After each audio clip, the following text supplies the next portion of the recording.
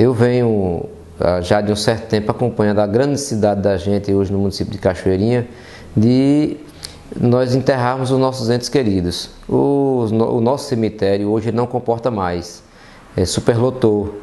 É túmulo, o pessoal vai fazer o enterro passando por cima dos túmulos, não tem mais onde enterrar as pessoas. E eu sempre me preocupei com essa questão. E agora, em comum acordo, eu, o município adquiriu uma área com o pessoal da família de seu Joaquim Pereira, ali já onde já existe o cemitério, a gente vai ampliar o cemitério que vai nos durante 20 anos, se Deus quiser, a gente não vai ter mais problema, a gente vai aumentar o cemitério. Já estamos tratando da, da, da documentação.